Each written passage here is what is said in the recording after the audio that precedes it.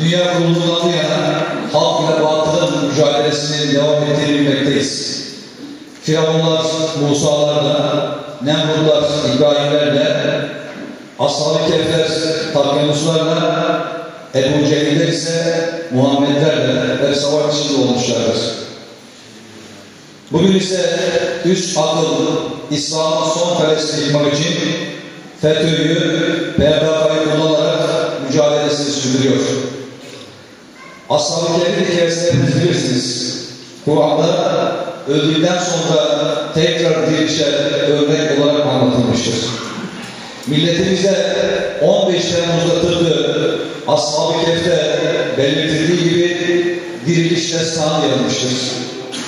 10. ayet malinde o gençler mağaraya sığındıkları zaman demişlerdi ki Rabbimiz katından bize bir rahmet ver ve işimizde bize doğruyu kolaylaştır.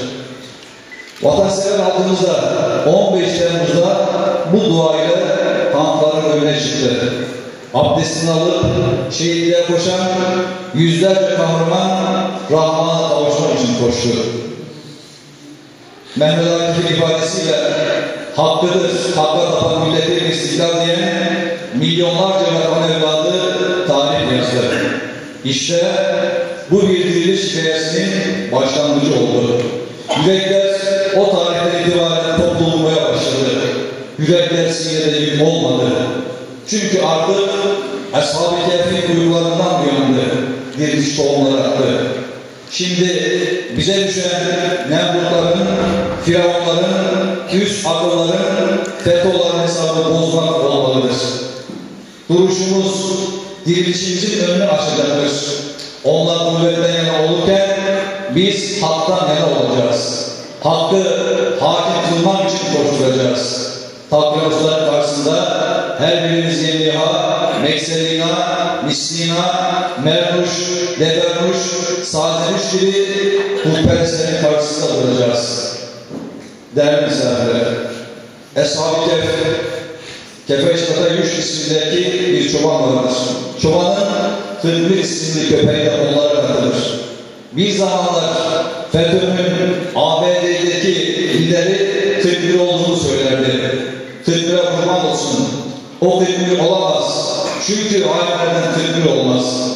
Ülkesini arkasından duranlara Tıbbı demek Tıbbı'ya hakaret olur. Evet, yüzlerce şehit. Binlerce gazilerimiz vardı. Ama bir net olarak ortaya çıktı. 15 Temmuz'da tarih yazan Türkiye halkı sadece kanlı bir darbeyi değil, sonu belirsiz bir iç savaşı engellediği gibi o savaş için 50 yıl önce temel atılmış kirli bir örgütlenmeyi de açığa çıkarttı. FETÖ bir iç örgütlenme olmadığı gibi dışarıdaki bir gücün basit bir operasyon örgütü de değildir. FETÖ'ler bilmez. Ancak bir gerçeği daha biliyoruz ki hak gelirse batıl zahir olur. Son hüküm ise Allah'ındır. O nurunu tamlayıcıdır. Kader yazılmış ise kimse silemez. Şeytanın gülen yüzü artık kara bulutların arkasına sığınamaz. Biz Eshab-ı olmaya devam edelim. Saygı ve sevgilerim. Sağ olun.